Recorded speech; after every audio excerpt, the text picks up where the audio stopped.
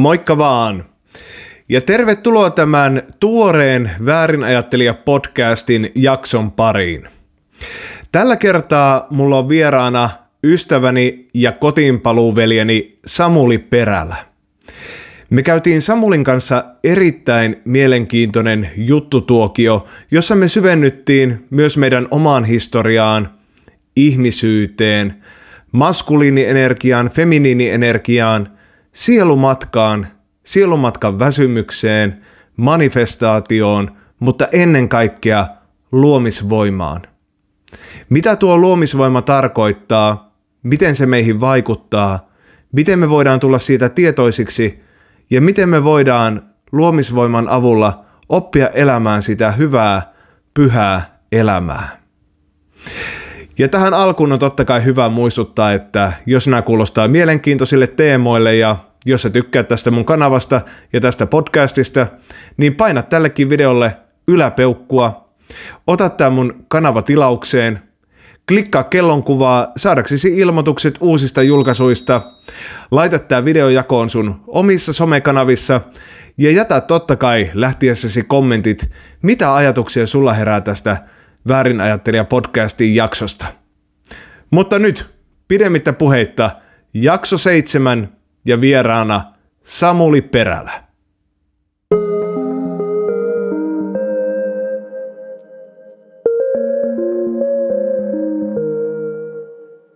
Moikka vaan katsojat ja tervetuloa tämän tuoreen Väärinajattelija podcastin pariin.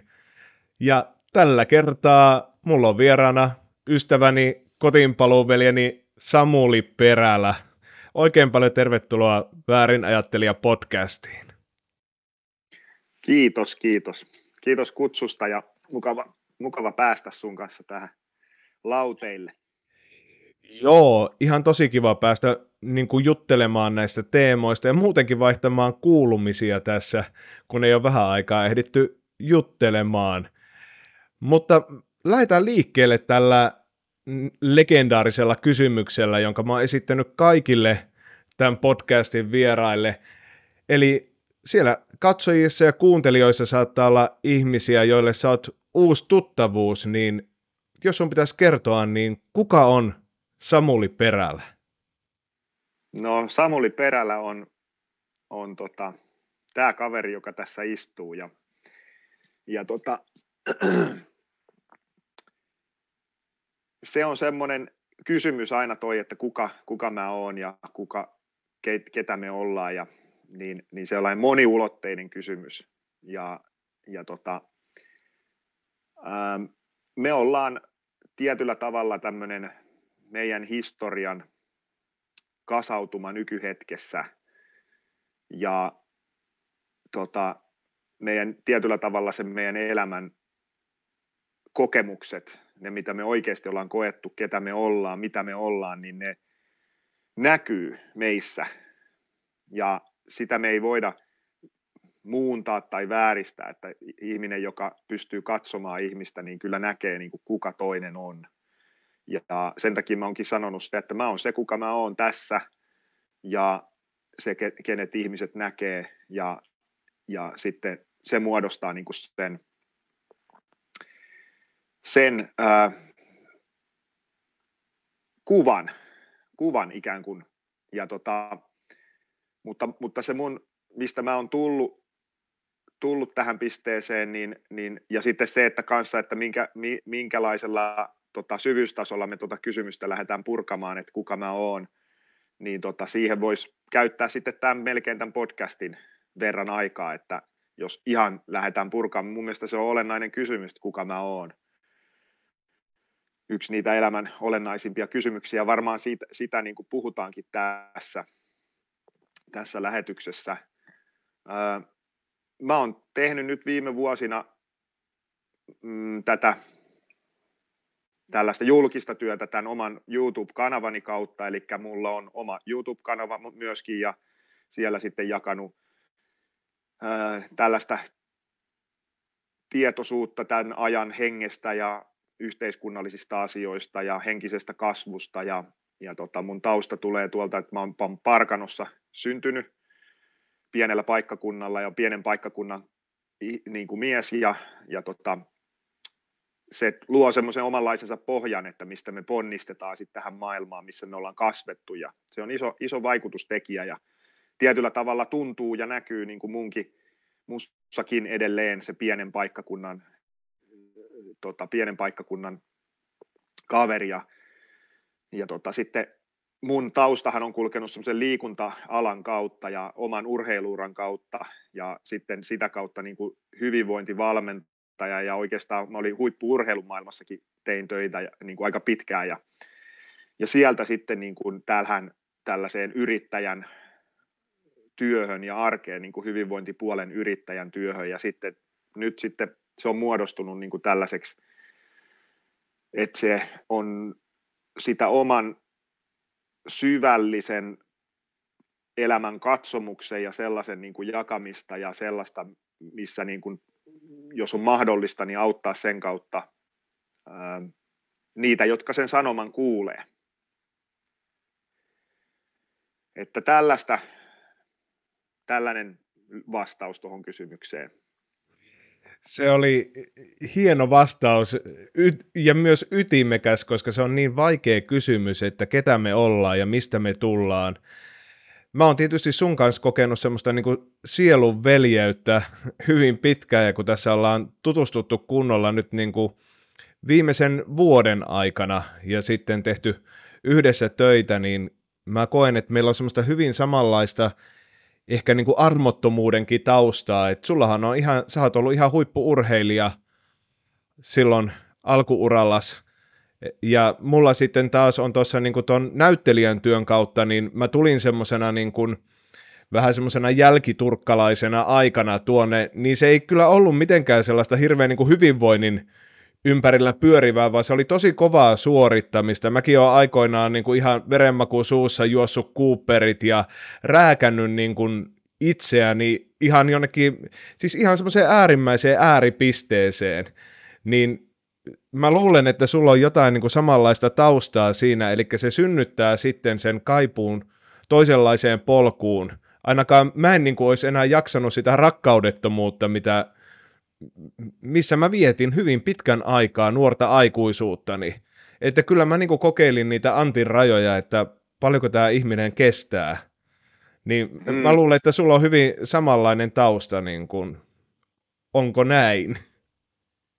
Joo, kyllä. Ja se, mehän ollaan siitä jonkun verran jaettukin. Ja sit sittenhän ne on aina sellaisia tyyppikysymyksiä ja minkälais, minkälainen me ollaan, minkälainen luonne on ja minkälainen ihminen ja minkälainen energia ihmisessä on ja sitten, että miten se muodostuu. Ja ne on joskus aika pieniäkin juttuja, mitkä sysää ikään kuin sen ihmisen sitten sille polulle, mitä mullakin niin kuin nuorena. Että siinä oli mon, monia asioita tietenkin, mitä voisi niin kuin puhua, että mistä se sitten johtui, että sitten ihminen lähtee, mutta sitten kun ne, ne ei ole niin kuin vaan tästä elämästä, vaan se on niin kuin syvä tällainen sielun, sielun pitkä polku ja pitkä matka, mutta et, et sitten mullakin niin kuin siihen sisältyi sitten paljon semmoista niin kuin häiriökäytöstä, mikä tulee sieltä semmoisesta, tai semmoista ihan ääripään, ääripään niin kuin puhutaan syömishäiriöstä ja siitä, sitä kautta niin kuin sellaisesta mm, väkisin pakottamisesta, että se pakotetaan se keho muuttumaan silloin niin kuin mun, mulla niin kuin nuoruudessa –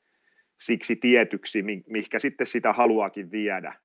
Ja jos se ruokavalio oli, niin kuin mullakin se oli yksi ikään kuin työkalu siihen, niin sitten siitä tulee semmoista, että se väkisin pakotetaan siihen tiettyyn muottiin ja, ja tota, ää, ikään kuin sen kautta luodaan sitä, mi- mihin haluaa päästä. Ja se on sitä semmoista, sekin on luomista, mutta se on vaan väkisin pakottamisen kautta tapahtuvaa luomista. Ja, ja tota, ne on ollut kaikki tärkeitä polkuja, tärkeitä asioita kokea ja tärkeitä asioita käydä läpi. Ja, ja tota, mulla itsellä niin sitten tapahtui sellaiset syvälliset muutokset että aika nuorena.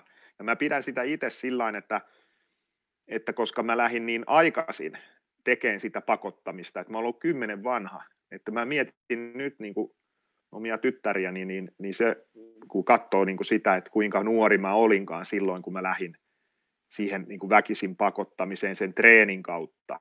Ja sitten myöhemmin tuli se niin kuin ruokavalio ja sen, sen pakottaminen, niin on, mä on ollut hyvin nuori, jolloin sitten se kyllästyminen tapahtui myös jo hyvin nuorena. Että se oli niin kuin sillä hyvä, että, että kyllästy siihen elämäntapaan 20, mä oon ollut 21, 22, kun mä oon tullut jo siihen niin kuin pisteeseen, missä mä oon.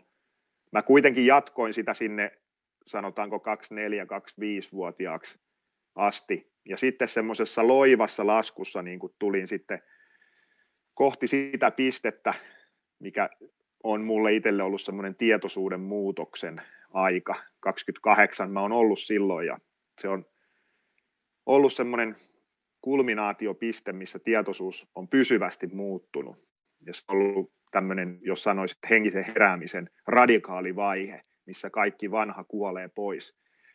Niin sehän on, jos ajatellaan niin kuin yleisesti, niin varmaan suht, suht nuori niin kuin iältään, mutta mä olin ainakin itse täysin valmis ja, ja niin kuin kypsä siihen. Mä olin kypsyttänyt itteni, koska se nuoruus oli niin, niin kuin raaka ja brutaali, että että tota, Mutta mut se on jännä silti sen pakottamisen tapa, joka on juurtunut sinne niin kuin sielutasolla, kultivoinut ikään kuin sitä, niin sen ikään kuin kokonaan pois jättäminen, niin se onkin pitempi prosessi, jossa niin kuin pitää mennä ikään kuin baby steps ja askel askeleelta niin kuin lähestyä sitä luonnollista elämää ja luonnollista olotilaa.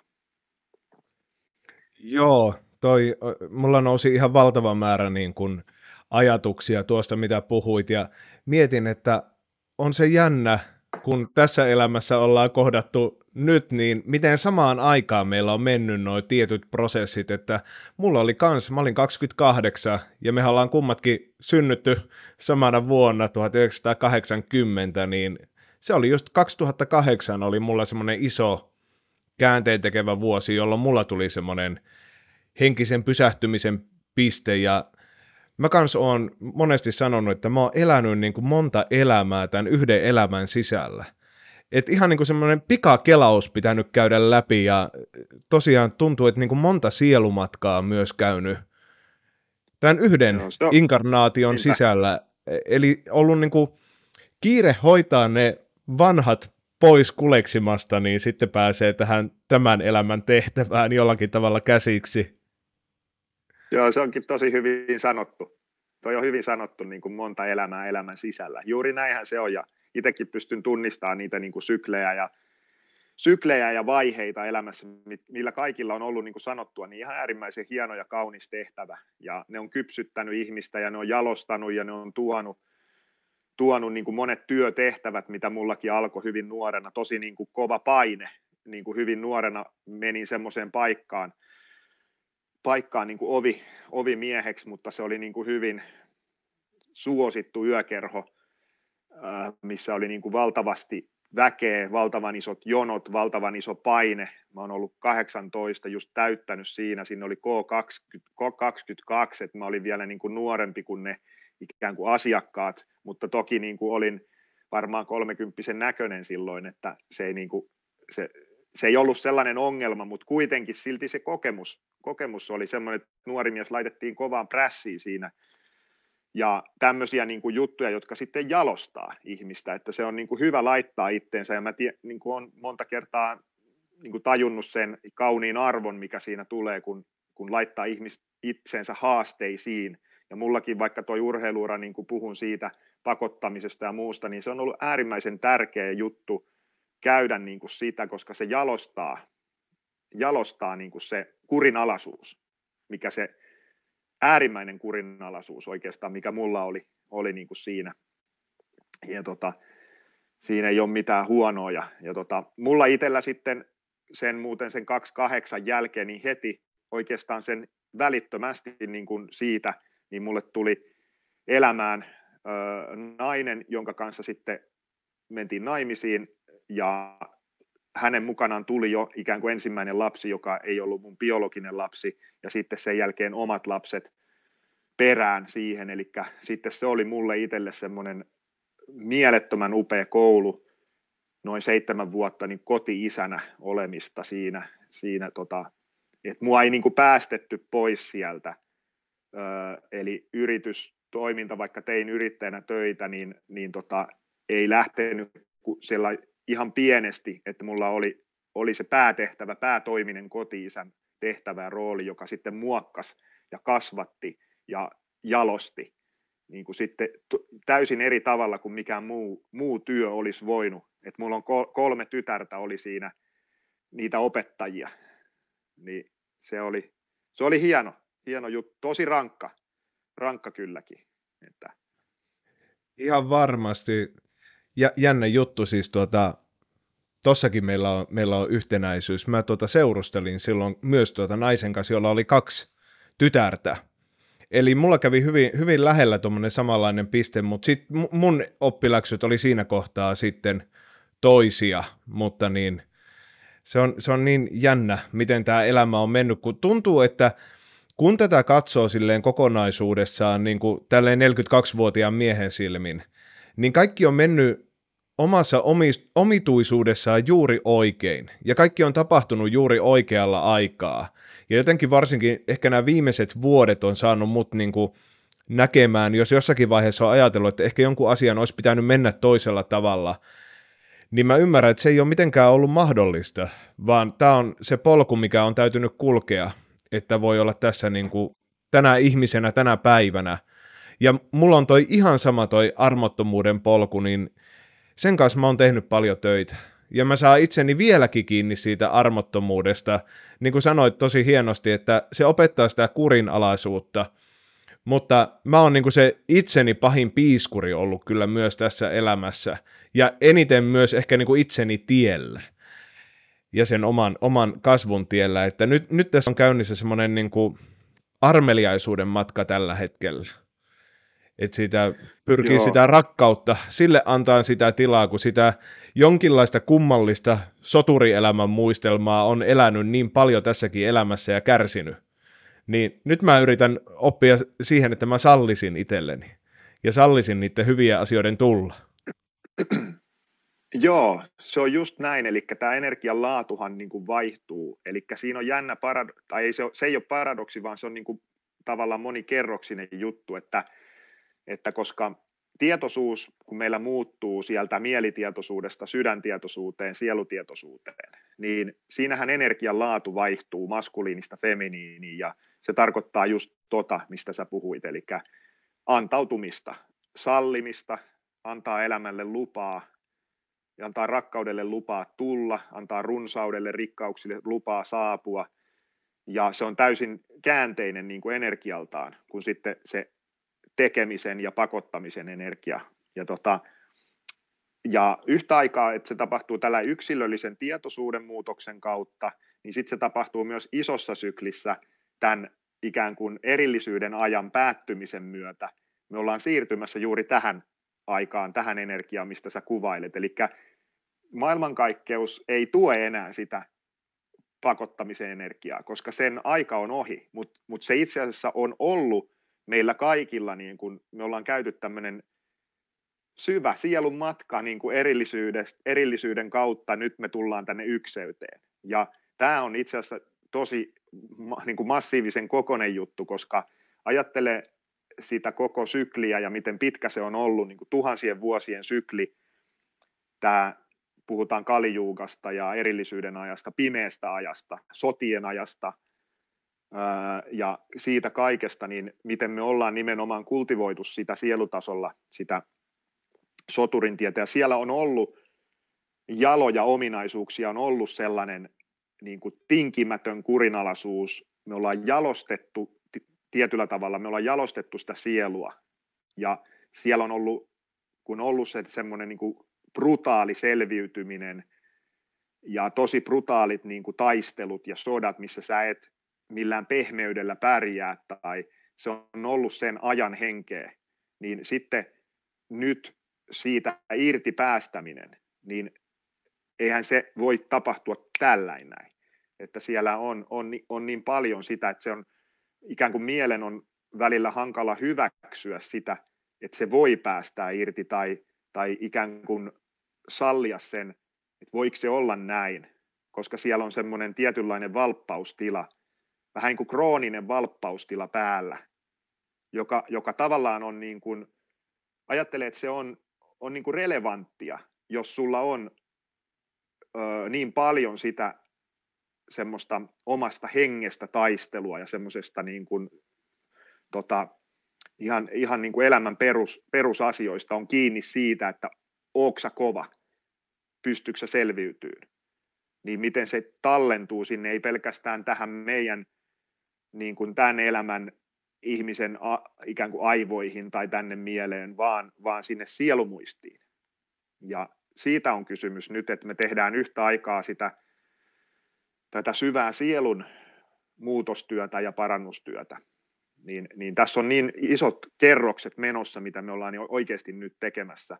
Et, et jokaisella ihmisellä on hyvä olla sillä armelia sitelleen ja, ja, ja antaa sille aikaa, koska tässä on, on niin syviä juttuja. Ja, ja sitten se, että kun mekin ollaan synnytty miehen, miehen kehoon ja me, me ollaan sen takia vahvemmassa yhteydessä tähän kollektiiviseen miehen historiaan, ikään kuin yhden miehen historiaan. Jos me ajatellaan niin kuin koko ihmiskuntaa, niin tätä mieskuntaa yhtenä miehenä, niin me ollaan linkitetty siihen ja siihen kollektiiviin enemmän kuin naiseen, naisen. Ja tota, se on tietyllä tavalla meidän työsarkaa.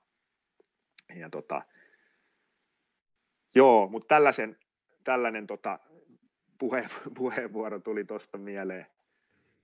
mieleen tota. hyvä, hyvä puheenvuoro ja vitsi kun mä kuuntelen sua, niin mulla lähtee aina niin kuin ajatus silleen 20 eri suuntaan, mutta yritän pitää silleen jonkun semmoisen kultaisen linjan, niin, mutta tohon täytyy sanoa, että mehän ollaan varmasti myös sitä maskuliinia puhis, puhdistamassa tällä hetkellä. Ja ainakin itse koen, että siellä tekee niin kuin tosi iso semmoista myös varjotyötä ja traumatyötä, joka ei liity pelkästään tähän niin kuin Anttina olemiseen eikä tähän elämään, vaan siellä on joku paljon isompi teema siellä kaiken alla, että mä oon kyllä tunnistanut ton niin kuin soturin munkin itsessäni niin kuin aika monta kertaa. Se, se joka on, on aina valppaana, on aina valmis kärsimään – ennen kaikkea kieltämään itsensä, kieltämään omat tarpeet. Se on ollut mulle oikein sellainen mieluisa leikki tuolla jossain niin kuin syvällä sielutasolla. Niin nyt mä yritän niin kuin tästä opetella ulos ja mä jo näen sen, mä näen sen rakenteen, mutta sitten sitä aina välillä saa itsensä kiinni, että ai vitsi kun tää on tuttua ja tää on niin kivaa olla tässä askeettisessa kärsimyksessä. niin sitä yrittää niin kuin muistuttaa itseään kaiken aikaa. Ja se on tosi hieno, kun otit tuon sielumatkan puheeksi. Mä oon tässä podcastissa puhunutkin monista niin kuin omista oivalluksista ja kokemuksista ja mä oon huomannut, että jotkut sellaiset kokemukset, mitkä mä oon luullut, että ne on ihan tyystin mun niin kuin subjektiivisia tämän elämän kokemuksia, niin meillä onkin semmoisia hyvin kollektiivisia tunnetiloja tai syklejä, mitä me mennään läpi, mä, mähän sulle viime syksynä puhuinkin siitä, kun tuli se täysin niin kuin luovuttamisen piste itselläni vastaan. Ja sä sanoit mulle tosi hienosti silloin, että se on sitä niin kuin sielumatkan väsymystä, jota mä oon mm. verrannut, että niin kuin semmoinen uintireissu olisi ollut käynnissä tämän, tämänkin elämän, tämän 42 vuoden elämän. Ja yhtäkkiä tulee vaan siinä niin kuin keskellä uimista se, että mä en vaan jaksa. En mä halua hukkua, ei mitään tällaista, mutta mä en vaan jaksa enää. Et voinko mä mm. vaan niin kuin olla tässä? Ja mä luulin, että se on niin kuin mun oma kokemus, mutta kun mä puhuin tästä yhdessä lähetyksessä, niin mulle tuli kymmeniltä ihmisiltä viestiä, että mä oon käynyt saman läpi viime syksynä. Ja tosi monet ihmiset on tehnyt semmoista niin kuin surutyötä myös liittyen esimerkiksi parisuhteiden päättymiseen, siihen yksinäisyyteen liittyen, omaan riittämiseen liittyen, että siellä on kyllä niin kuin joku tosi iso kollektiivinen puhdistus ollut myös käynnissä, ja se on mut yllättänyt, että miten samanlaisissa sykleissä me käydäänkään näitä asioita läpi me ihmiset.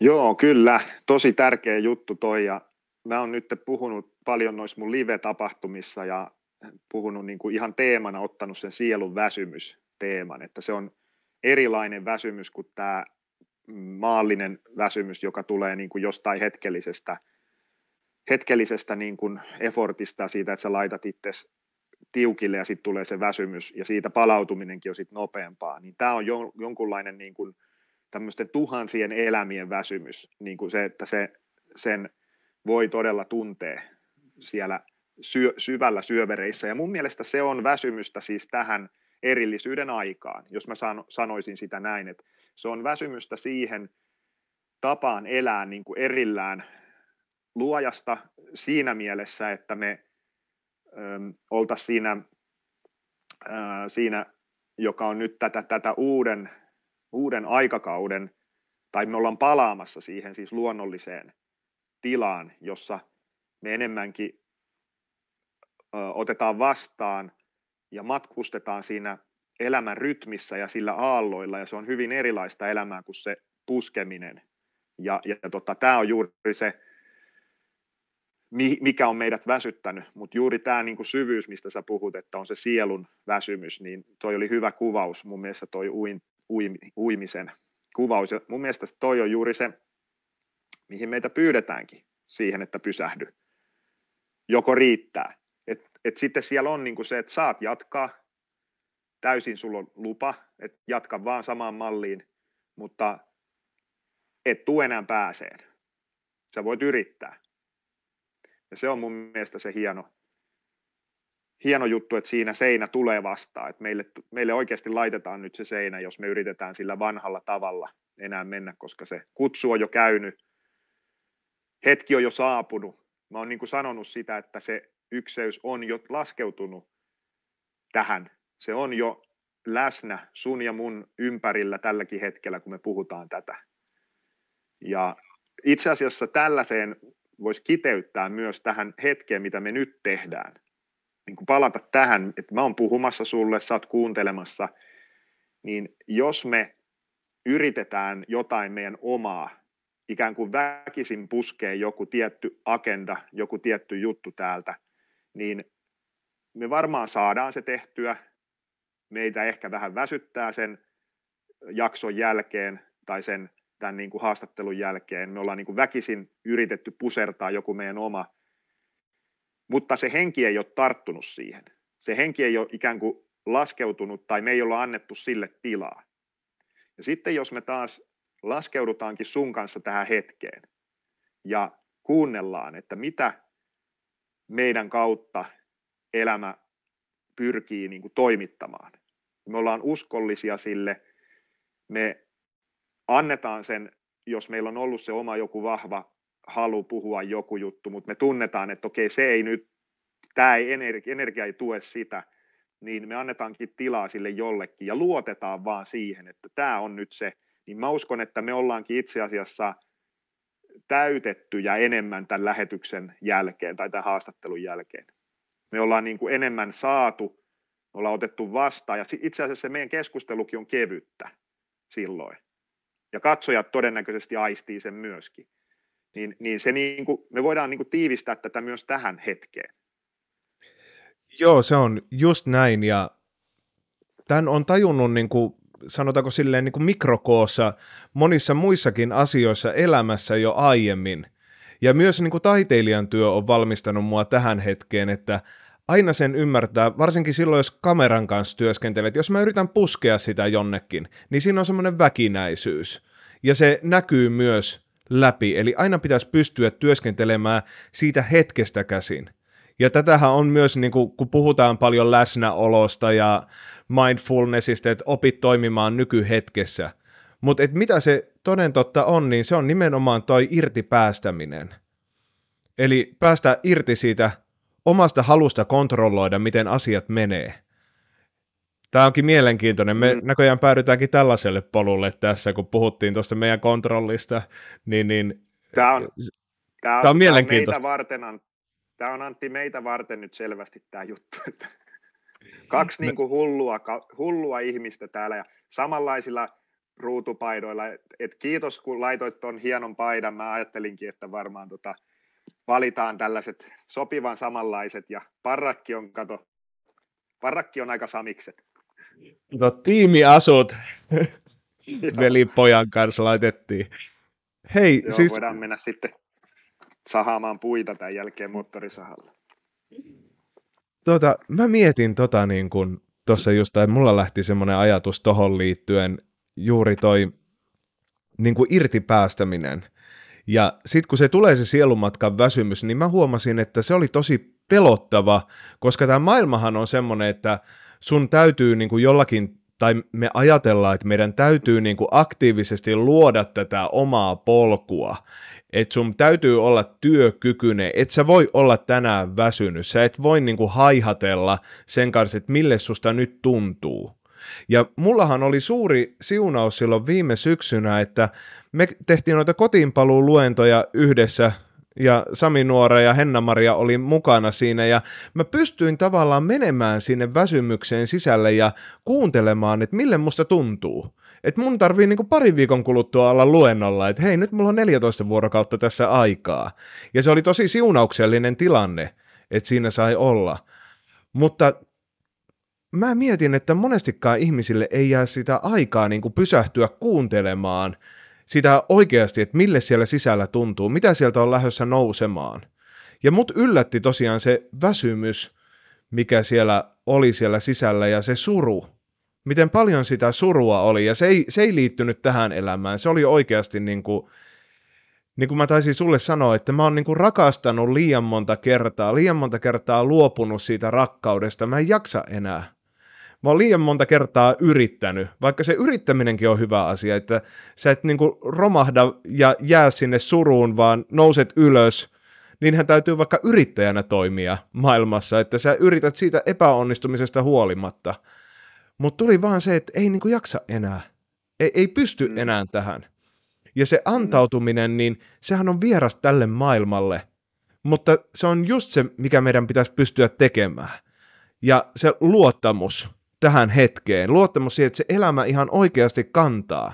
Että mun ei tarvi kontrolloida tätä, mutta tämä on jotenkin se piru, mikä taistelee tuolla sisällä meidän, meillä koko ajan. Mm. Ja sitten siinä on se paradoksi, että toi vanha maailma tuossa meidän ympärillä, ikään kuin tämä yhteiskunta, niin sehän menee vielä sen vanhan energian pelisäännöillä ja toimii.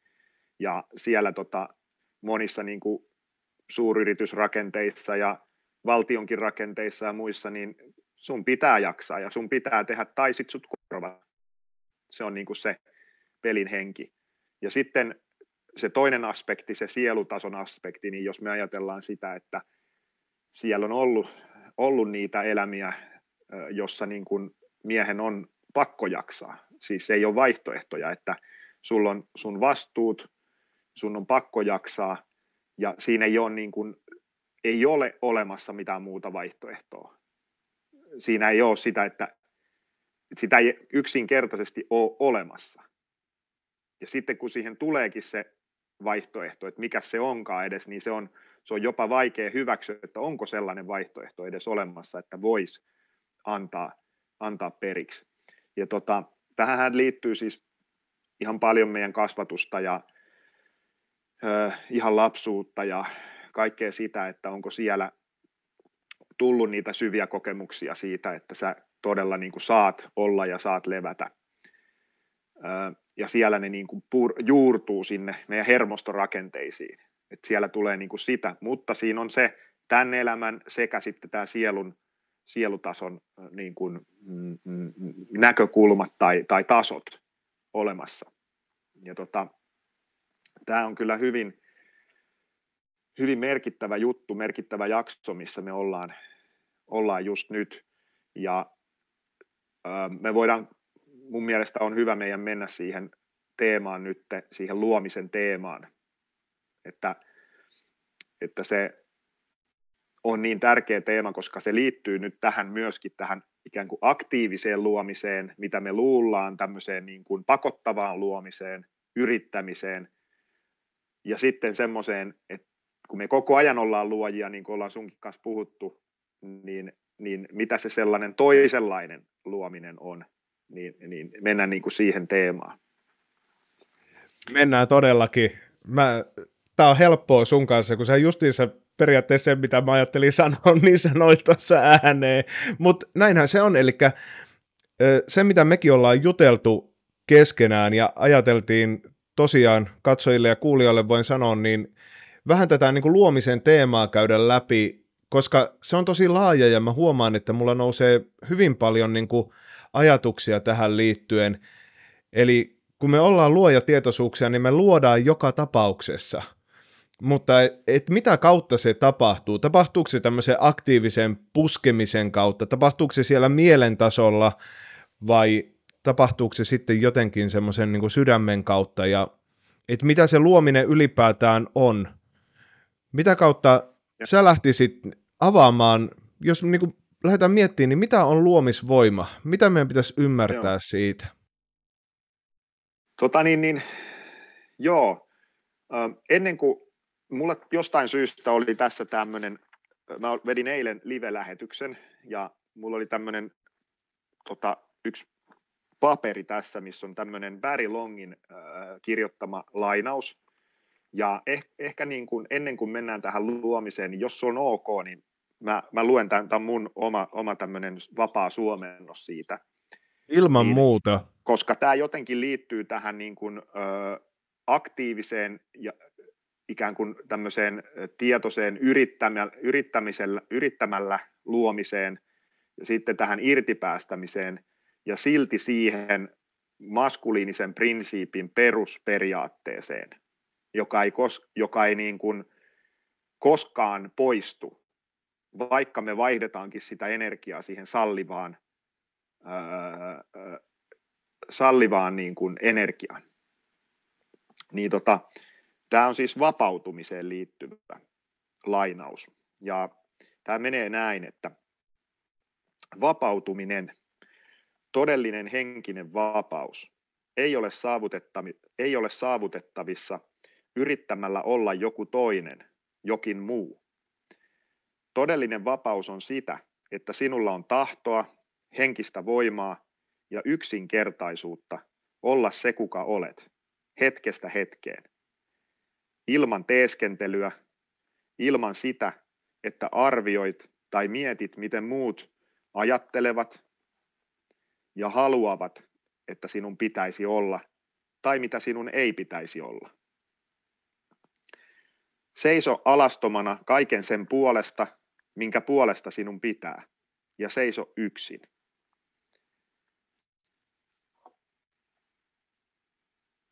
Ja toi Tosi on tietysti, hieno. niin, toi on mm. niin kuin semmoinen tavallaan simppeli juttu ja mistä paljon puhutaan tällä hetkellä, että, että, niin kuin, älä, et, että oo, että älä arvioi muiden kautta tai mieti sitä, mitä muut ajattelee. Tämä on niin syvälle juurtunut meihin, että tässä on jokaisella ihmisellä oikeasti aika paljon työsarkaa että me voitaisiin todella olla sitä, mitä me ollaan hetkestä hetkeen.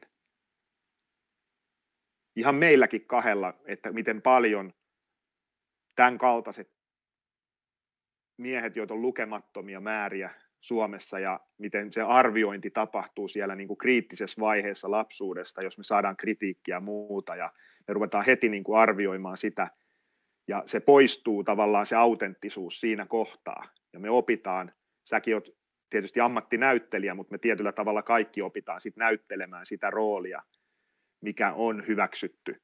Ja sitten siitä se luopuminen. Ja tässä tämä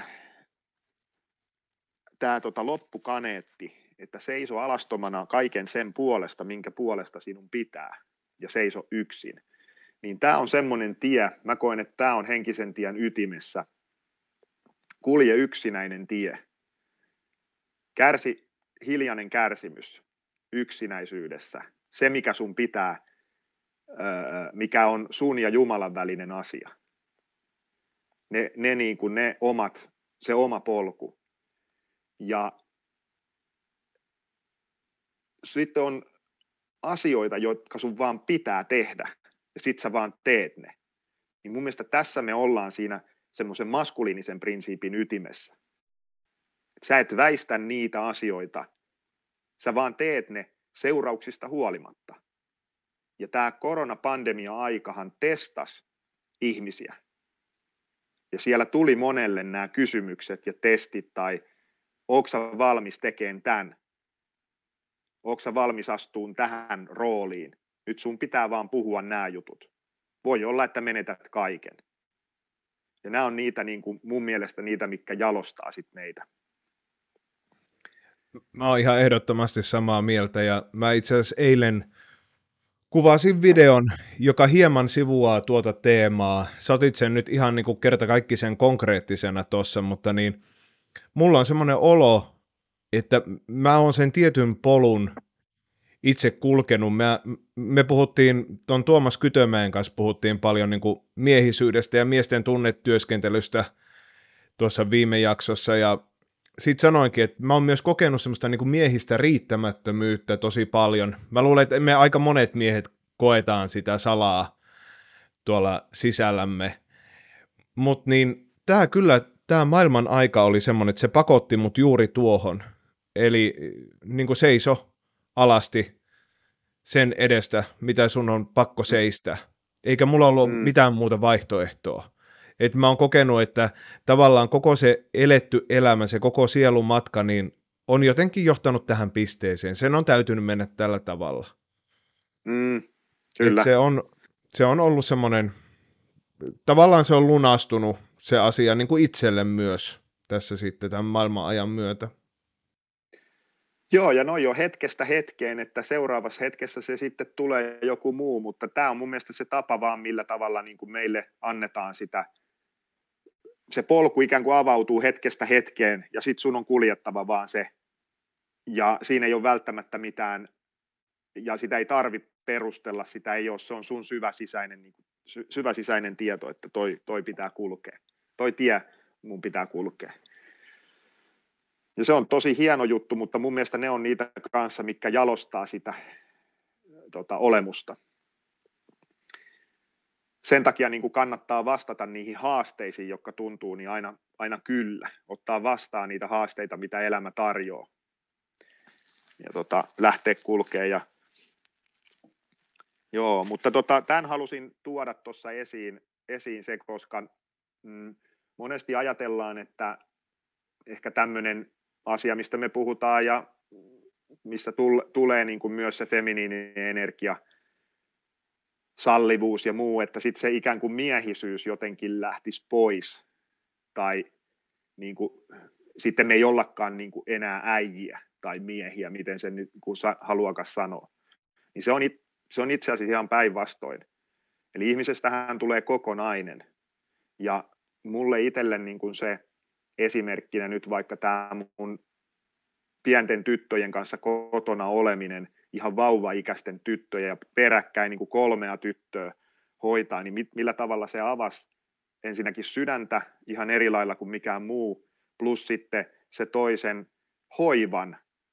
Eli myös miehellä on se kyky olla hoivaava, olla hellä ja se on tärkeä niin kuin tärkeä osa ja itse asiassa alkuperäisissä kulttuureissa se on tosi tai, niin kuin hienosti, hienosti ollut, ollut mukana siinä heidän normaalissa elämän tyylissä, miten myös miehet osallistuu siihen ja heissä myös vahvistuu niin kuin se puoli.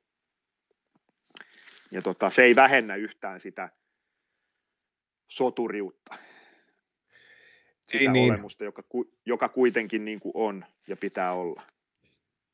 Ja mä luulen, meissä kaikissahan on noin maskuliiniset ja feminiiniset puolet, ja tämä elämä on semmoinen tanssi myös, että me niin kuin opitaan tuntemaan nämä energiat, jotka on niin kuin, ne on kaikkialla, ja ne on meissä itsessämme myös. Mm. Ja sitten meillä on se perusenergia, mistä käsin niin kuin nyt, nyt satutaan olemaan tässä maskuliinienergiassa, ja yritetään toimia siitä käsin tässä elämässä. Tuota, Joo. Tosi kiitos. Pitäisikö... Toi oli tosi hyvä. Joo. Joo, mä koin, että se oli ihan hyvä vielä niin kuin ottaa tähän, tähän ja tota, pitäisikö meidän mennä, sä itse asiassa esitit sen kysymyksen jo äsken, mutta jos vaan sopii, niin toistako sen, koska se oli niin hyvä kysymys siitä luomisesta. Joo, mennään ihmeessä, eli siis tuota, se, että jos nyt lähdetään avaamaan ihmisille, mä oon puhunut omilla videoillani ja sä oot puhunut myös tästä luomisesta. Ja sillehän on monta nimeä. Jotkut puhuu manifestoimisesta, ja mä tykkään paljon enemmän puhua luomisesta. Kai se on niin aktiivinen tietoisuus siitä, että me ilmennetään tätä meidän todellisuutta. Mutta miten sä lähtisit avaamaan sitä luomisvoimaa, jos nyt olisi vaikka tämmöinen luentotilanne ja on ihmisiä, jotka ei tavallaan ole tuttuja sen termin kanssa, niin mm. mitä sun mielestä siitä pitäisi niin kuin tietää tai, tai sisäistää, kun lähdetään avaamaan tätä asiaa?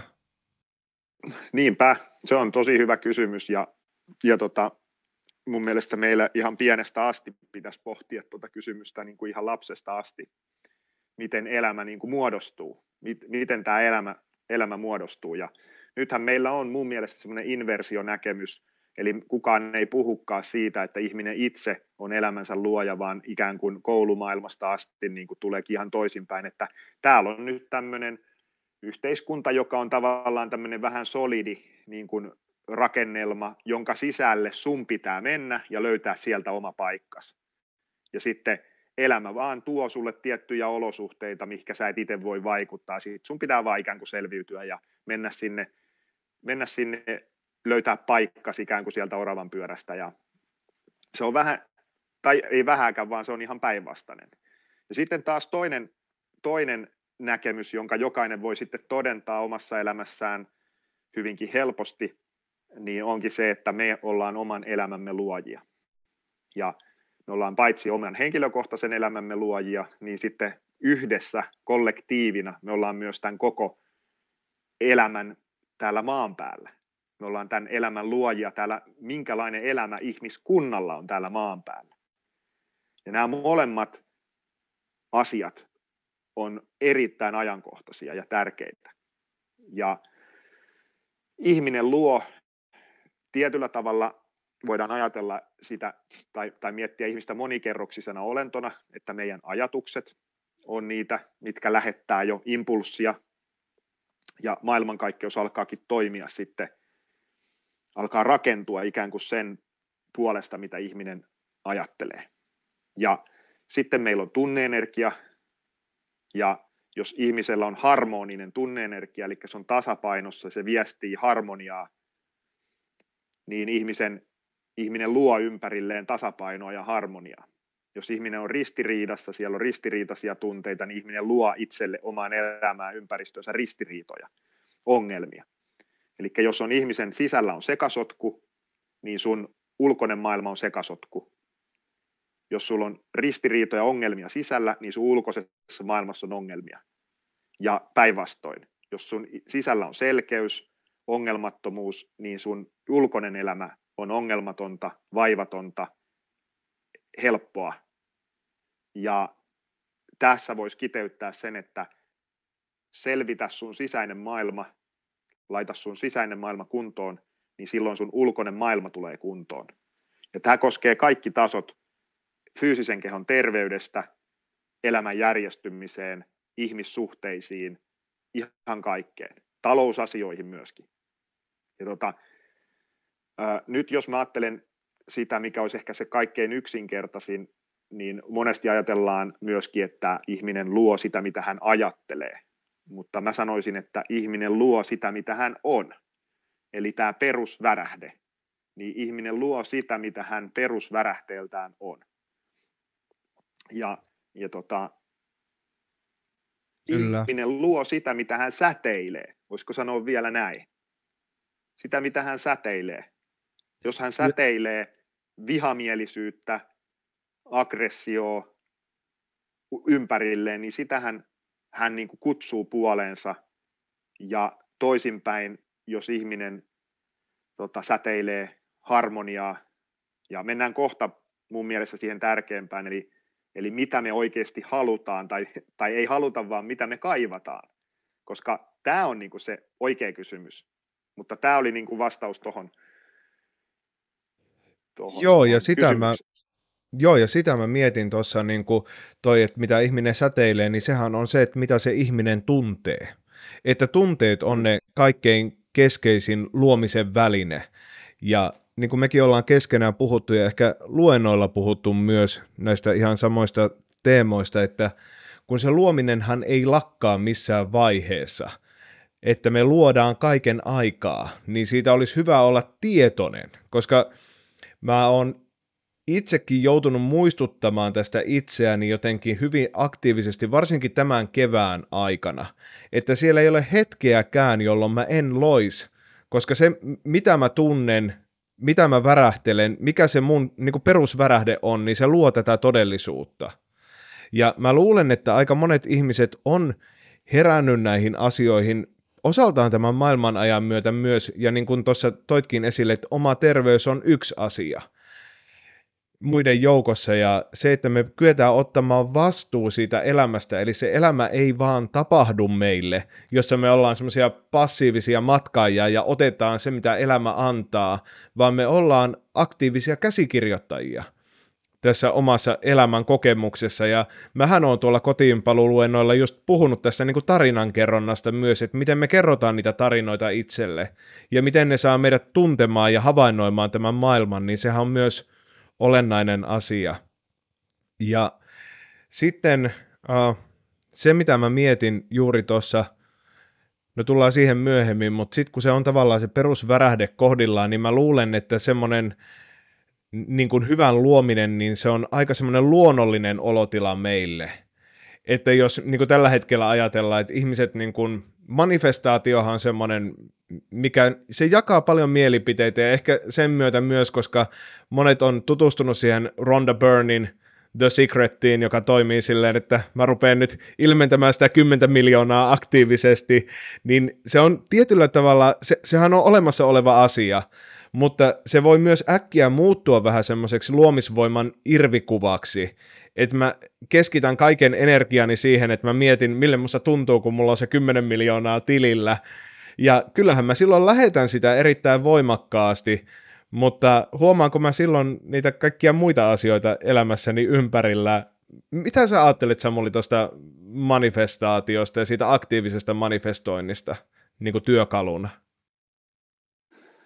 Niin, se on, se on sitä sielun voiman käyttöä. Mä oon itse asiassa tehnyt semmoisen tosi pitkänkin seminaari, siinä on kolme, kolme niin kuin osaa, tai puolitoista tuntia kappale, neljä ja puoli tuntia niin kuin puhunut tuosta aiheesta, ne löytyy siellä tuolta mun, mun niin kuin sivujen kautta sitten ne niin kuin luennot, mutta tota, tällä niin kuin sielun piilevä voima ja hengen vapautus on niin kuin siinä sen otsikkona. Ja, ja tää, siinä niin kuin me mennään siinä semmoiseen te- teemaan, että tällaiseen hyvin syvälliseen teemaan, että Raamatussakin sanotaan näin siinä alussa, että Jumala loi ihmisen omaksi kuvakseen. Ja tota, siinä alkuperäisessä käännöksessä hän on Jumala loi sielun omaksi kuvakseen. Se ihan, ihan sanotaan, siinä ei ole niin ihminen, vaan siinä on, se sana tarkoittaa Jumala loi sielun omaksi kuvakseen. Eli se meidän esenssi, niin se on luoja, luojan esenssi. Meissä on luoja kipinä. Me ollaan luojan kaltaisia. Me ollaan luojia, niin kuin säkin sanoit, niin aamusta iltaan, yö, yönkin läpeensä. Eli koko ajan me luodaan, haluttiin tai ei. Ja nyt sitten, kun ihminen havahtuu tähän, tulee tietoiseksi tästä luoja ominaisuudesta, niin voi niin kuin innostua tuollaisesta manifestaatiosta, että hei, tähän toimii. Että mähän teen aarekartan tästä näin ja sitten ne alkakin toteutuu. Että mä vaan laitan näitä intentioita, sitten mä vahvistan niitä ehkä jollain harjoituksilla ja sitten se toteutuu. Ja sitten se toimii. Sehän menee niin.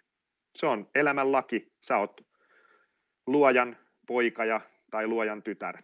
Ja, ja tota, se on meidän mahdollisuus. Ja kyllähän ajattelee, että tuommoisen, kun sä rupeatkin huomaamaan, että näin tapahtuu, että hei, mä voin itse asiassa luoda, niin sehän on varmasti niin kuin hyvin häkellyttävän huumaavakin kokemus tai tunne. Mutta, ja, ja, tota, ja se on totta. Mutta kysymys niin kuin on siinä, että mitä me sillä saavutetaan. Mitä sitten, että et okei, jos mä loisin vaikka paremman talon tai auton tai elämän olosuhteet, houkuttelisin jonkun ihmisen siihen, niin tota, mitä sitten? Sitten mä olisin tämä sama tyyppi, mun elämän ympärillä olevat olosuhteet olisi muuttunut, niin onko se sitä, mitä me todella kaivataan, mitä me todella tarvitaan? Ja tässä me tullaan niin kuin olennaiseen kysymykseen, että mitä me kaivataan, mutta myös niin kuin tähän kysymykseen, että mitä mieltä olet manifestaatiosta, niin mitä toi kaikki on, niin se on todellisuuden manipulointia. Eli mä käytän hyvin todennäköisesti sitä sielun voimaani niihin mun henkilökohtaisiin haluihin. Eli tässä tullaan siihen, että mistä kohdasta sä luot. Luotko sä sun halujen perusteella, sun haluista käsin, eli sä haluat jotain itsellesi, josta sä luulet, että sun onnellisuus tulee. Silloin sulla on jäljellä sitä niin sanottua halukehoa. Ja silloin ihmisellä on taipumus manipuloida elämää, käyttää ikään kuin omaa noita voimaansa väärin, jos mä nyt käytän sitä sanaa väärin. Toki niin voi tehdä. Ja etenkin silloin, kun siihen sisältyy muita ihmisiä, niin silloin se on jo magiaa, magian käyttämistä. Me käytetään ikään kuin maagisia voimia, meidän magiaa, maagista voimaa, mitä me kaikki ollaan, maagisia olentoja. Niin, niin tota, me käytetään sitä taikavoimaa luodaksemme itse, itse itsellemme jotain. Ja tota, tällaisen, tällainen, että et mä haluaisin nyt sun kanssa pureutua tuohon kysymykseen, että mitä sitten, mitä me oikeasti halutaan, mikä on se luonnollinen tapa luoda. Siihen mä haluaisin mennä. Mennään ihmeessä. Tämä on niin helppoa tämä sun haastatteleminen, kun sä vastaat semmoisiin kysymyksiin, mitä mä oon ajatellut esittäväni sulle. kun tässä on tämmöinen telepaattinen taso, mutta niin, ju, niin. juuri se, juuri se tota, kun mä mietin itse tuota manifestaatioita, sehän tulee tavallaan semmoisesta niin kuin itsen palvelemisesta käsin, jos se pitäisi niin kuin sille raakasti sanoa. Ja sitten mä käytän niin kuin luomisvoimaa itse sillä tavalla ehkä sellaisessa paljon pyhemmässä merkityksessä. Ja my- myös se on niin kuin, se ei lyö sitä lopputulemaa sillä tavalla lukkoon, mitä niin kuin manifestaatio tekee. Ja mun mielestä toi oli tosi tärkeä, kun halusinkin tavallaan puhua tuosta niin omaisuuksien ilmentämisestä tai jopa toisen ihmisen sitomisesta. Että kyllähän me voidaan niin kuin alkaa houkuttamaan ja manifestoimaan vaikka toista ihmistä elämäämme, mutta onko se sitten niin kuin tavallaan oikein sotkea sen toisen ihmisen vaikka energiakenttää tai niin kuin se, sen toisen sielun matkaa, eli mun mielestä nämä on myös sellaisia asioita, että näistä niin kuin kannattaa olla tietoinen. Eikä ne ole mitään niin kuin ihan semmoisia kepeitä asioita. Kun meillä on se voima, niin mun mielestä se voima tuo mukanaan myös sen vastuun. Että miten me käytetään sitä meidän luomisvoimaa. Joo, ilman muuta. Ilman muuta. Ja tota, itse asiassa niin kuin pelkkä juoruilu kahvipöydissä juoruilla toisesta, ikään kuin puhua pahaa jostain toisesta, niin se on jo sitä magian käyttämistä. Eli silloin sä lähetät sitä ihmistä kohti jotain sellaista energiaa, joka ei luo hyvää, se ei luo harmoniaa, ja, mutta sä maksat itse sen hinnan. Et siinä mielessä niin kun oikeudenmukaisuuden laki pitää huolen siitä, että meidän ei myöskään tarvi niin kun tuomita toisia, vaan aina se ihminen itse maksaa sen hinnan. Joko nyt tai jossain myöhemmässä vaiheessa. Ja siinä mielessä niin kuin se on, tota, meidän ei tarvi sillä tavalla puuttua niin kuin muiden tekemisiin ja voidaan olla sillä rennosti. Ja myöskin jos me itse käytetään sitä meidän omaa voimaa väärin, niin me itse maksetaan se hinta. Että, ja tota, miten, miten se niin kuin, mikä on luonnollinen luominen, niin siitä mä ehkä niin kuin haluaisin sanoa nyt tässä tai puhua tässä. Eli Mennään siihen. Mä itse näen, niin näen sillä tavalla, että me ollaan ää, me ollaan luojan kipinöitä. Ja meidän luonnollinen tila on olla yhteydessä luojaan, siihen alkulähteeseen, rakkauteen, koko ajan. Ja tässä ajassa meitä kutsutaan tähän pysyvän yhteyteen. Ja se pysyvä yhteys tarkoittaa sitä, että me annetaan meidän koko olemus Jumalan käyttöön. Me antaudutaan, laskeudutaan Jumalan käyttöön. Ja tähän sisältyy se, että silloin kun me tehdään tämä antautuminen, niin luoja kaikessa viisaudessaan katsoo tätä tyyppiä. Jos me ei olla valmiita vielä siihen hommaan, mihin meitä, meitä on hyvä käyttää tässä ajassa, niin sitten meidät valmistellaan siihen. Ja se on aika raju koulu. Eli luoja tekee meidät nöyräksi. Luoja ohjaa meitä sellaista polkua, että jos sä et ole vielä nöyrtynyt, niin sit sä, sut tehdään nöyräksi. Ja kaikille on omat keinonsa. Kovi, kova päisimmällekin tyypille on omat keinonsa. Eli luoja alkaa hiomaan timanttia tai muokkaamaan siitä savesta astiaa itselleen. Ja se on semmoinen elämän koulu luojan käsittelyssä, parhaan personal trainerin ohjauksessa. Ja tämä on ikään kuin se ensimmäinen askel tähän, että silloin me antaudutaan siihen muokkaukseen. Ja sitten siinä muokkauksen aikana meistä tyhjennetään pois meitä itseä, meidän sitä haittaohjelmistoa, halua, halukehoa, niin kuin Eckhart Tolle puhuu kärsimyskehosta terminä, niin sitä kärsimyskehoa öö, tyhjätään. Meistä tehdään tyhjempiä. Ja näin ollen henki alkaakin työskentelemään meidän kautta. Eli luojan henki luo meidän kautta.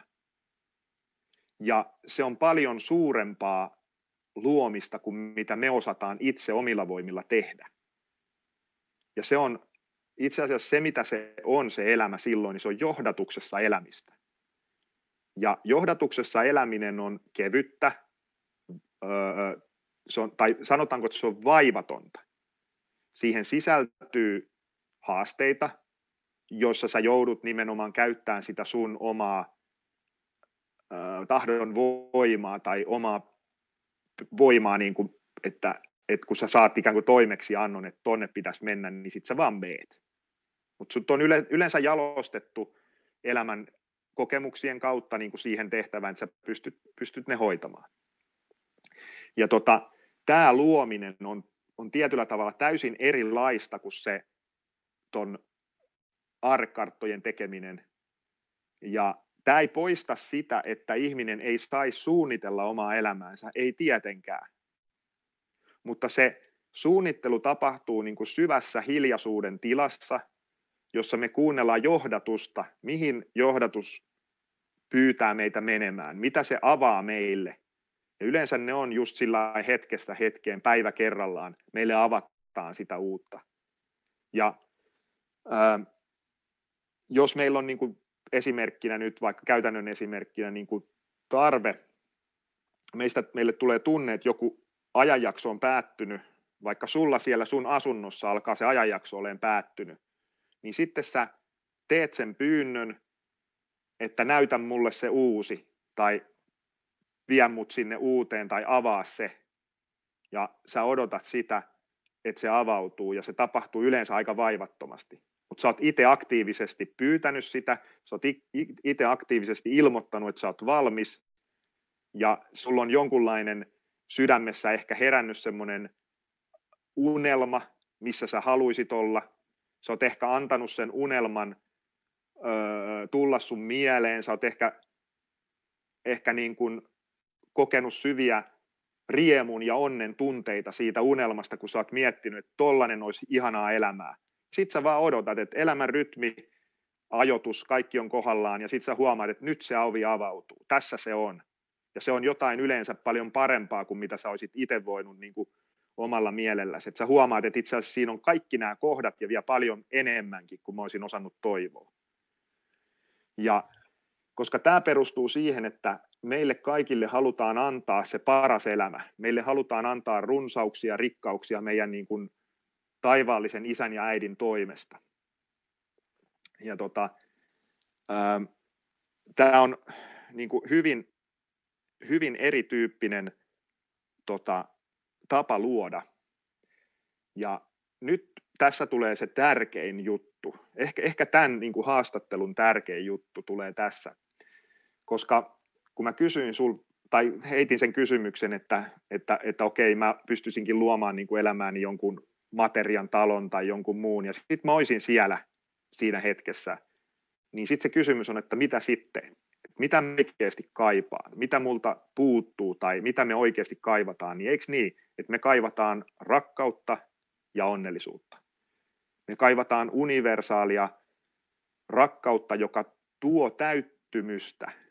Ja se tuo tietyllä tavalla sellaista, mitä sanotaan, mä en tiedä, onko suomeksi edes sitä termiä, mutta bliss, bliss state, tämmöinen niin kuin,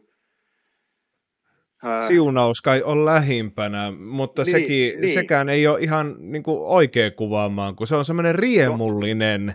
Se on riemullinen ja semmoinen kiito, kiitollisuus, kiitollisena eläminen ja, ja, ja semmoinen niin kuin, pysyvä olotila.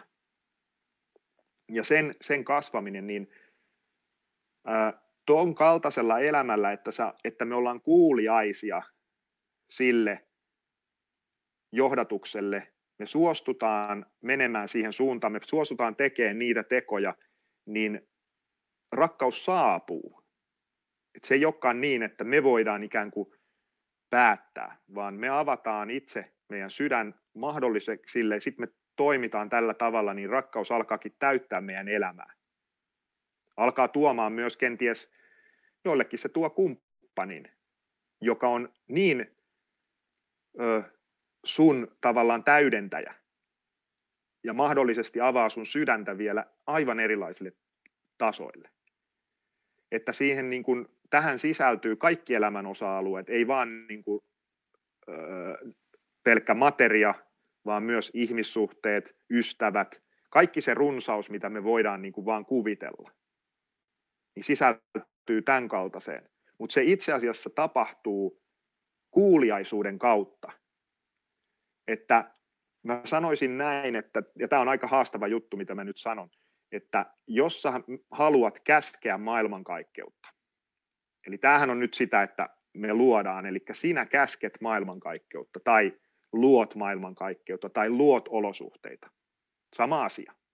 Voimakkaampi termi vaan. Jos sä haluat saavuttaa sen voiman, niin että luoja ikään kuin avaa sulle sen mahdollisuuden, sen voiman, ihan eri mitoissa, niin ennen sitä sun on opittava tottelemaan. Eli ennen kuin sä voit käskeä, sun pitää oppia tottelemaan. Se on laki. Se on pyhä laki. Se on järjestys. Ja nyt käytännön esimerkkejä. Esim. Jos ihmisellä on vielä jotain semmoisia tapoja, jossa hän tietää, että hän tekee väärin, mutta jatkaa silti sitä tapaa niin silloin se rakkaus odottelee siinä sun jossain ympärillä, mutta se ei tuu siihen elämään. Ja se antaa sun hölmöillä, se antaa sun jatkaa sitä hölmöä elämäntyyliä, sitä kenties sun hölmöä tapaa, jonka sä jo sisimmässä hyvin tiedät, että tätä itse asiassa tämä ei tuo rakkautta mun elämään, mutta sä saat siitä jotain stimulaatioa, sä saat siitä jotain jotain niin kuin hetkellistä nautintoa, joka ei ole rakkautta, vaan se on stimulaatio, se ti- stimuloi tunteita, se stimuloi kehoa, niin näitähän voi olla lukemattomia niin kuin erilaisia tapoja, mitä ihmiset tekee. Ja sitten elämä kysyy siellä, että onko se valmis jo lopettaa tuon, eli tottelemaan. niin kuin, sehän on se, että totteleksä, että sulla on pyydetty jo lopettaa, se on hienovarainen pyyntö, ja sitten kun ihminen, että okei, mä suostun tähän, ja sä alat niin kuin vaan ikään kuin luopumaan niistä sun tota, tavoista ja asioista, niin sä avaat tilaa elämälle ja sä rupeat toimimaan enemmän sen mukaan. Kyllä, just näin. Tämä on, ja... tällaista nyt, niin, tämä on tällaista nyt vähän tämmöistä niin kuin pitkän kaavan mukaan selittämistä, koska tämä on niin kuin iso teema ja itse koen, että tämä on ihan hyvä, hyvä niin kuin puhua ju, juurta jaksain. On, on ihan, ihan äärettömän hyvä ja mä mietin sitä, mistä me lähdettiin tuossa liikkeelle, kun puhuttiin jonkin verran pintapuolisesti noista niin kuin meidän tarinoista ja meidän historiasta, niin kyllähän meitäkin on valmisteltu tätä hetkeä varten. Mä koen, että mua on valmisteltu ihan toden teolla. Ja tavallaan ne asiat, mitkä mä nyt tänä päivänä sisäistän, niin ne on ehkä mun tietoisuuteen tuotu jo joskus silloin 15-13 vuotta sitten, mutta nyt sen pystyy niin kuin elämään oikeasti todeksi niitä asioita. Ja se oli mun mielestä tosi tärkeä asia, minkä sanoit tuossa vähän aiemmin, kun esim, tämmöinen esimerkki, että miten se luomisvoima voi toimia, niin kun puhuit siitä juoruilusta – niin mm. mikä meillä ikinä on se niin kuin toksinen tapa, me vaikka kerrotaan sitä jotain tarinaa itsellemme kaiken aikaa, puhutaan pahaa, puhutaan itsestämme rumaasti, vahvistetaan sitä, että mulla on kaikki päin helvettiä ja mulla ei ole rahaa ja mikään ei tule menee hyvin, niin mä oon ihan jo näyttelijän töiden myötä törmännyt tähän niin kuin varmaan 12 vuotta sitten, että mitä jos lopettaisit sen, että kiellä itseäsi puhumasta sitä tarinaa. Sun ei tarvitse tehdä mitään muuta kuin mm. lopeta se. Niin yksistään se, että kun lopettaa vaikka tuollaisen, no käytetään nyt semmoista sanaa kuin toksinen, toksinen käytös, semmoisen toksisen energian lähettämisen, niin sinne vapautuu sitä tyhjää tilaa. Ja kun siellä vapautuu mm. se tyhjä tila, niin sinne väistämättä tulee jotain. Ja sitähän toi luomisvoima nimenomaan on, että me tehdään sitä niin kuin tyhjää tilaa itseemme mitä kautta se pystyy tämä elämä toimimaan. Mutta sitten siinä monesti on myös se, että ne asiat, mitkä me ollaan sen, sanotaanko, sen itsekkyyden tai rakkaudettomuuden kautta ilmennetty siihen omaan elämään, niin niistä meidät myös monesti riisutaan. Ja, ja tämä tuotiin mm. mulle niin kun, silloin hirveän selvänä niin kun 13 vuotta sitten, että koko se elämä, minkä sä oot vihalla rakentanut, niin siitä sä joudut luopumaan. Sä saat itse valita se ajankohdan, että et missä kohtaa se tapahtuu, että sulta ei mitään viedä väkisin. Mutta siinä vaiheessa, kun sä oot valmis luopumaan, niin sitten se tulee ne uudet asiat, ja sitä mä oon käynyt tässä läpi, ja joutunut hyväksyä, että ei, näin se vaan menee. Eli nimenomaan, että täytyy itse tehdä se valinta, että nyt mä oon valmis vastaanottaa tämän, ja nyt mä oon valmis astumaan tähän voimaan, että kiitos. Kyllä, kyllä. Ja toi on just toi, toi kanssa, että ähm, sä sanoit, että vapautuu tyhjää tilaa, niin se, että vapautuu tyhjää tilaa, niin ei ole aina helppo juttu.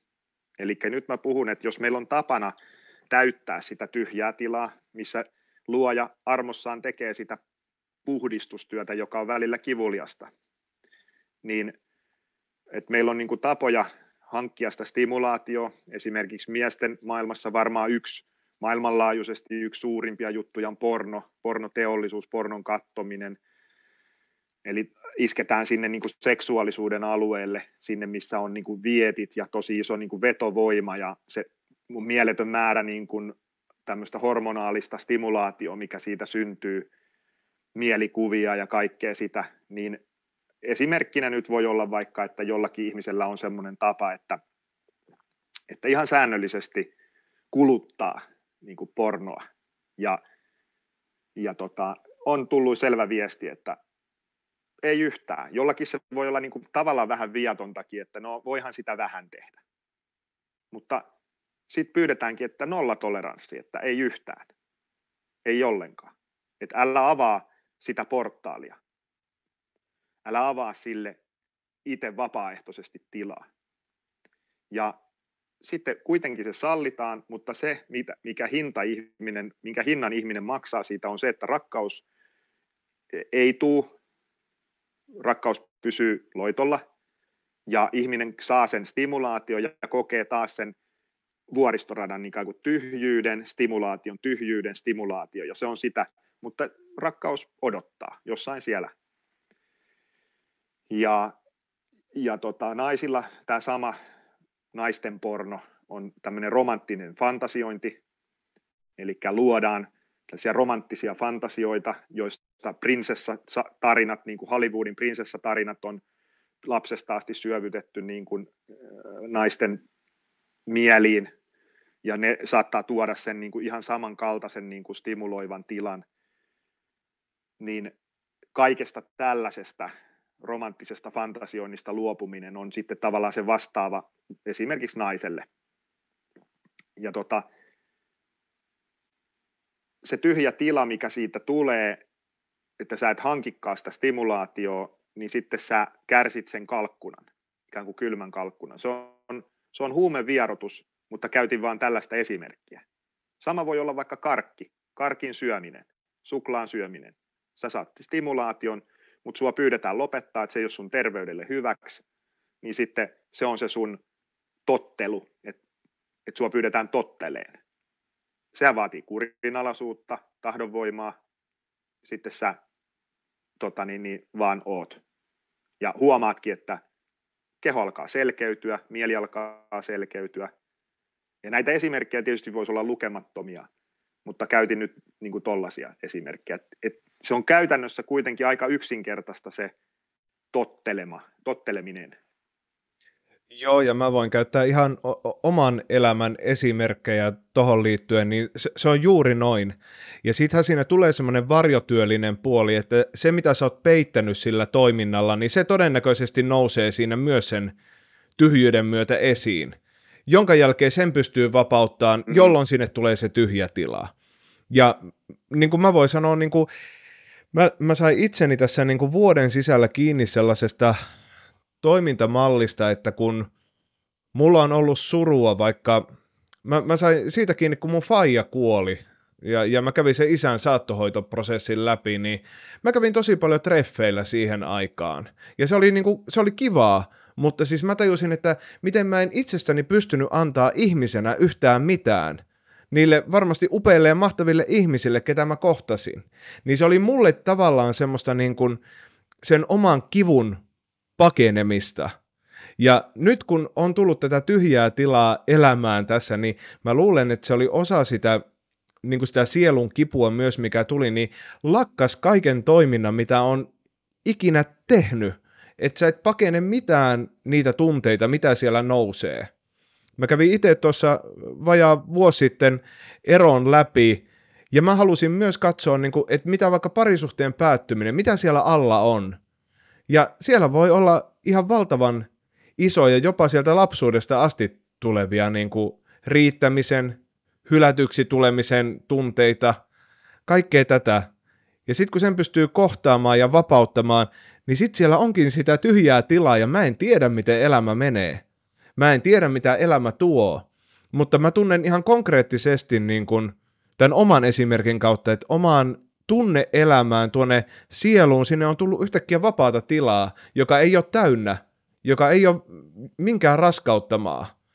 Ja se, silloin mm. se tuo tavallaan se elämän yllätyksellisyyden, eli se elämä pääsee tulemaan, kun siellä on sitä vapaata tilaa meissä.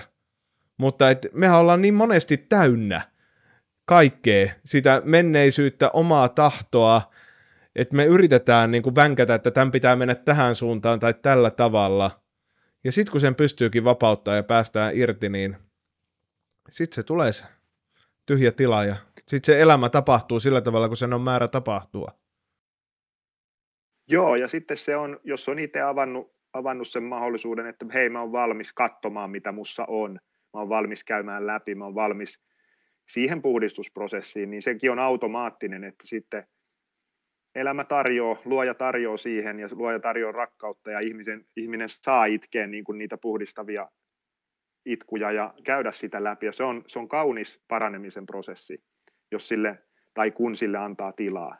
Ja tota, sitten tähän liittyy niin kuin tietyllä tavalla sitten toinen, toinen, toinen on tuo tilan antaminen sille, sille tyhjennysprosessille, niin sitten liittyy myös se aktiivinen puoli, se maskuliinienergia ja se eteenpäin menevä energia ja se luomisen toisenlainen puoli.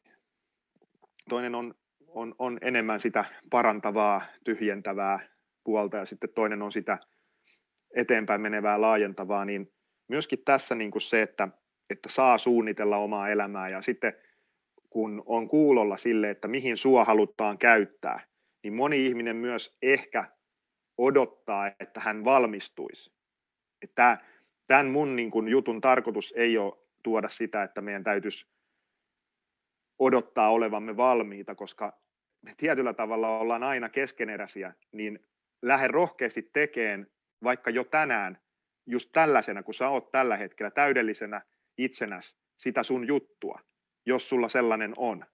Että sulla on joku, mikä inspiroi, joku arvo, mikä sä koet, että se on, on sun lahja maailmalle, niin lähde rohkeasti toteuttaa, lähde jakamaan sitä, lähde antamaan öö, ja tekeen ihmisten hyväksi, koska on tärkeää myös, että ne ajatukset ei pyöri liikaa sin oman navan ympärillä.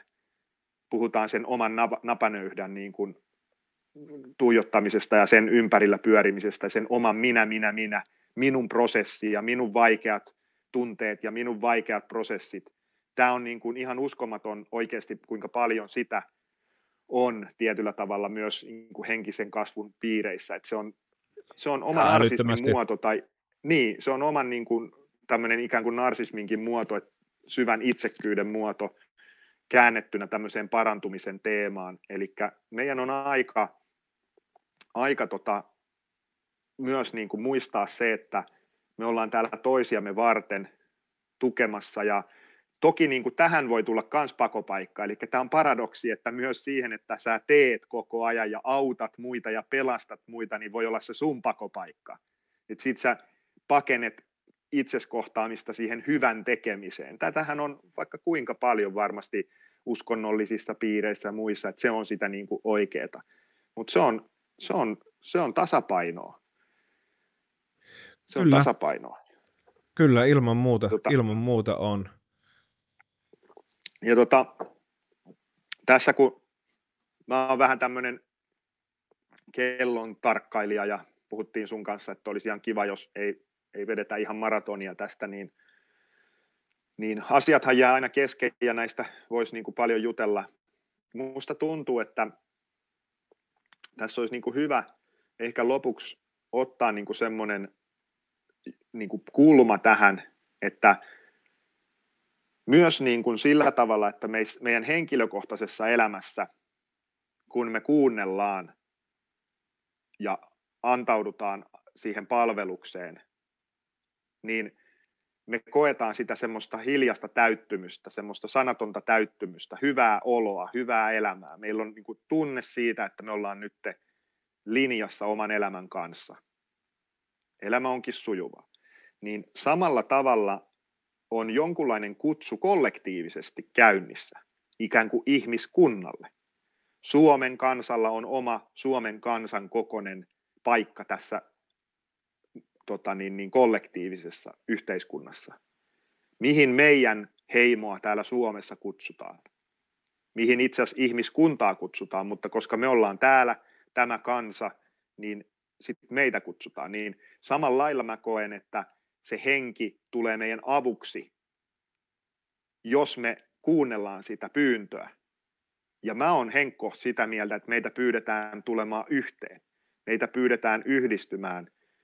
Meitä pyydetään niin kuin muodostamaan jälleen se yhteys, pyhä yhteys, niin kuin miehet toisiinsa kanssa, ikään kuin veljet veljen kanssa, siskot siskojen kanssa, ja sitten meidät niin kuin kaikki yhdessä, miehet ja naiset, yhdistymään toise, toistensa kanssa sukupolvien ketjut toistensa kanssa. Vanhukset, lapset, kaikki niin kuin yhdistymään.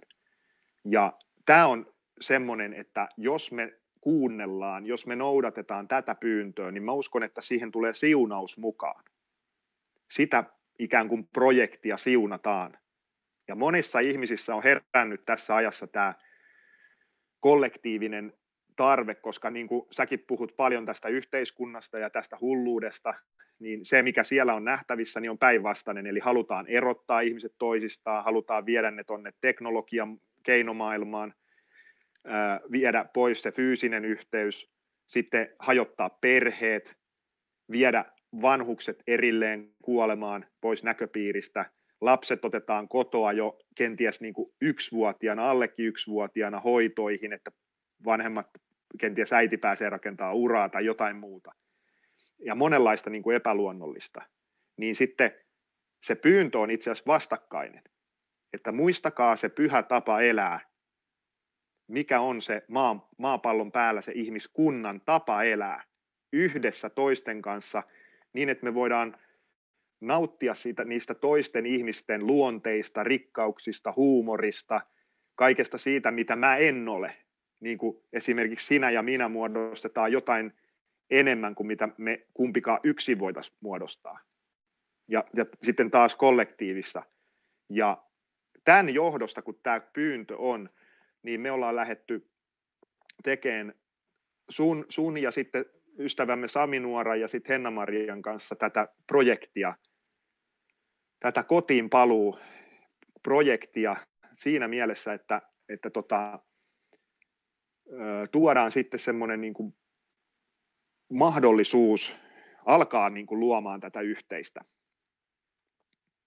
Yhteistä, niin jotenkin tähän, tähän ehkä halusin niin kuin itse niin kuin jotenkin lopet, niin kuin lopettaa tai päättää tämän. Tosi hyvä. Ja mä meinasin puhuakin, että puhutaan kotiinpaluusta jonkin verran, mutta sä avasit myös hienosti tota, niin kuin termiä, että mitä se kotiinpaluu tar- tarkoittaa. Että se on paluuta siihen niin kuin pyhään tilaan, siihen pyhään yhte- yhteyteen ja siihen pyhään ihmisyyteen myös. Joo, ja sitten se unohtamatta niin sitä ympäröivää elävää luontoa, että sehän on myöskin, mikä tämä kaupungistuminen ja teollistuminen ja teknologi, teknologian aikakausi niin on meidät vienyt, että me ei olla niin kuin kosketuksissa samalla lailla, ja nyt se pyyntö on niin kuin takas sinne suuntaan. Kyllä, ehdottomasti. Ja mä luulen, että toi kaipuu on sellainen, joka on herännyt aika monilla ihmisillä, koska meillä on tämä kollektiivinen tietoisuus täällä, niin nämä on semmoisia teemoja, mitkä on alkanut kutsumaan aika, aika monia ihmisiä. Ja mä luulen, että se on semmoinen kehitys, joka jatkuu rauhaksiin tässä myös tulevaisuudessa. Kyllä, kyllä. Ja tota, mä oon puhunutkin siitä, että jos seuraa niin kuin sun kanavaa, on sanonut ihmisille kanssa, että sun kanavan kautta niin kuin tulee tiedotusta tässä niin kuin lähi, lähiaikoina siitä niin kuin projektista. Ja mehän ollaan laitettu se kutsu avoimesti, että kaikki on tervetulleita, joita se sama idea, se on koskettanut niin se sama kutsu. Ja kotiinpaluun, tuossa kun kierrettiin sitä kotiinpaluun tota, seminaarikiertuetta ja tavattiin ihmisiä, niin kyllä se oli käsin kosketeltavissa toi tämä niinku teema. Kaipuu siihen palata, palata yhteyteen. On, on ja, ja myös niin kuin ihmisillä on se heimon kaipuu voimakas, että täällä on niin pitkään selvitty myös yksin, niin, niin se, että on veljiä ja sisaria, joiden kanssa jakaa tätä matkaa ja katsoa eteenpäin, niin se on tosi tärkeää. Ja niin kuin sanoitkin tuossa, niin tosiaan näillä meidän kanavilla tulee sitten lisää tietoa tähän liittyen. Varmasti tässä jo kevään ja alkukesän aikana.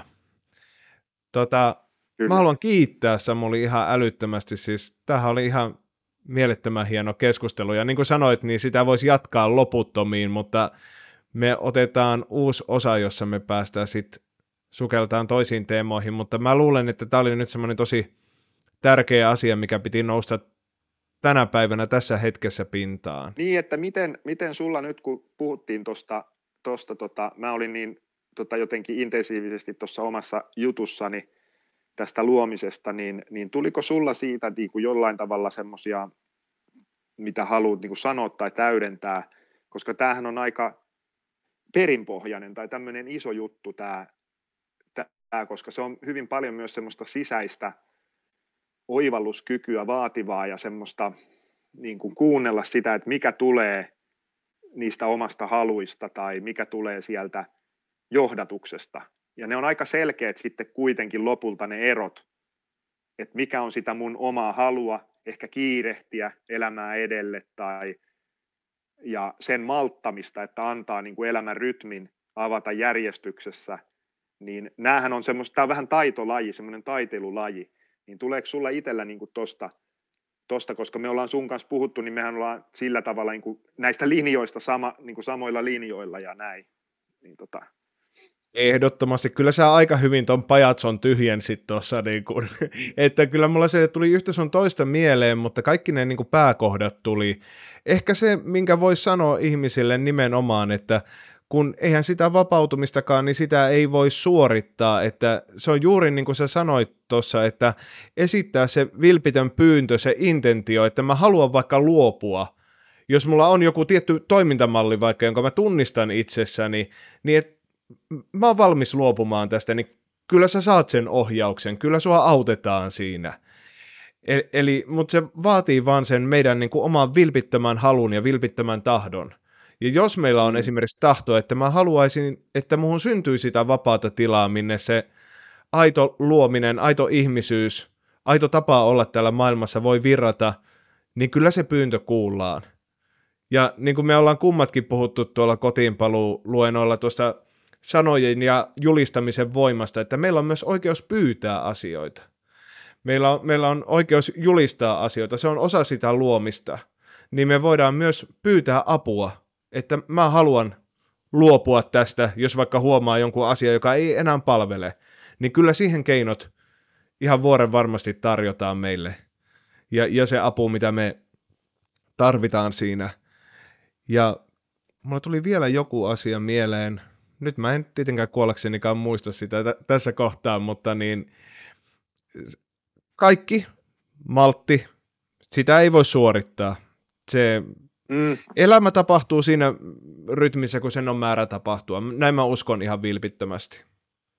Joo, niin mulla itsellä semmoinen tähän loppuun, loppuun oikeastaan niin ö, tulee semmoiset ki, niin halu, haluan, haluan kiittää sua. Sä oot aika mielettömän ison työn tehnyt.